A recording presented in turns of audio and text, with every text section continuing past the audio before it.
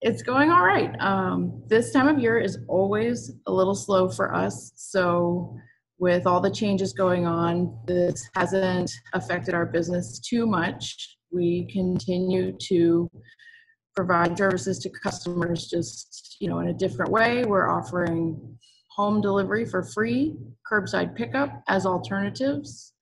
Um, and we continue to allow distance shopping. We're limiting five customers to come into the store at a time to allow everybody the space they need to um, stay safe. We're here with the same products. We just got a big shipment in of pasta. Um, we got a lot of Easter stuff last week.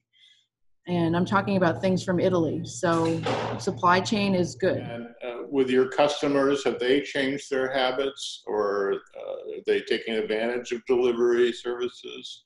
slowly taking advantage of delivery services, definitely taking advantage of curbside pickup. Um, yes, while the store looks empty, we're on the phone with somebody almost all the time who's sort of virtually shopping.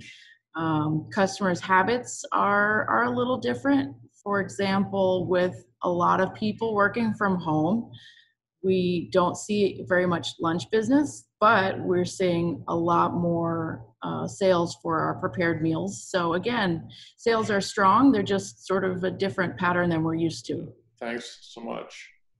Thank you, Dave. Thank you.